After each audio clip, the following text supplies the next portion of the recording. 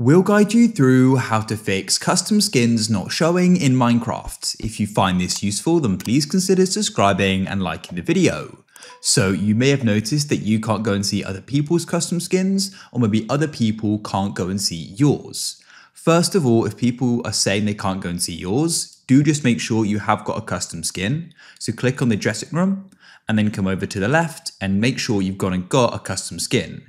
If you don't, you can go and click on this blank character in own skins and click on choose new skin and you can then go and upload your skin like so, choose the model type and that's it. You've now got and uploaded a custom skin. But if other people want to see your custom skin and you want to go and see other people's, the setting you need to go and change. So come into your settings like so, and then scroll down on the left into general. And what you need to do is go and switch off only allow trusted skins. So now you can go and see other people's custom skins, but let's say you're playing with a friend who's saying they can't go and see your custom skin, they'll need to go and turn this off as well.